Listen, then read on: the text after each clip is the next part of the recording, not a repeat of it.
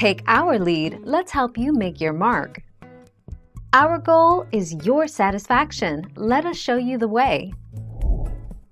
However, be aware that the standard Apple one-year warranty does not cover water damage.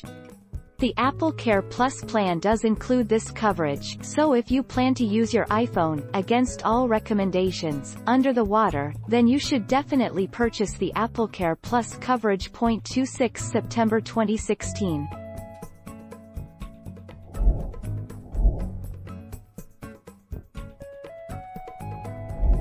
Let's help you make your mark.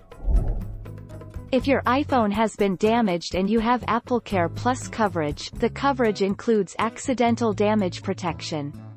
Each incident has a service fee. For screen repair AppleCare Plus service fee is $29 and for other damages like water damage repair, the cost is $99.29 February 2020.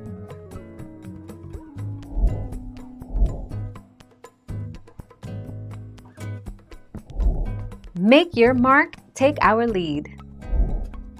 Generally any outward signs of damage or breakage would be classified as accidental damage.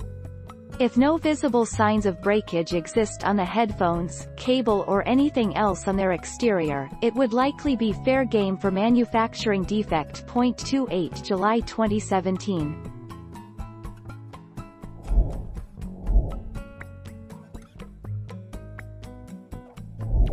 Make your mark, take our lead. If you're in the market for an iPhone 12 or iPhone 12 mini, AppleCare Plus will cost you $8 a month, or $149 upfront. But if you're paying between $699 and $1,399 for one of the new iPhone 12 models, it may be worth it for the peace of mind, and to save you from extra costs down the line. 5 November 2020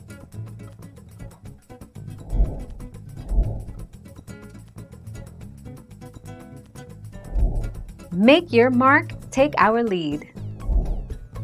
Keep in mind that not every single hardware issue is going to show up or be flagged by Apple Diagnostics. Neither will something like drying a Mac after the Mac has sustained water or liquid contact, unless the water contact actually damaged something that is then detectable in the diagnostic test. 28 November 2017 Thank you for watching. Please subscribe and hit the bell notification.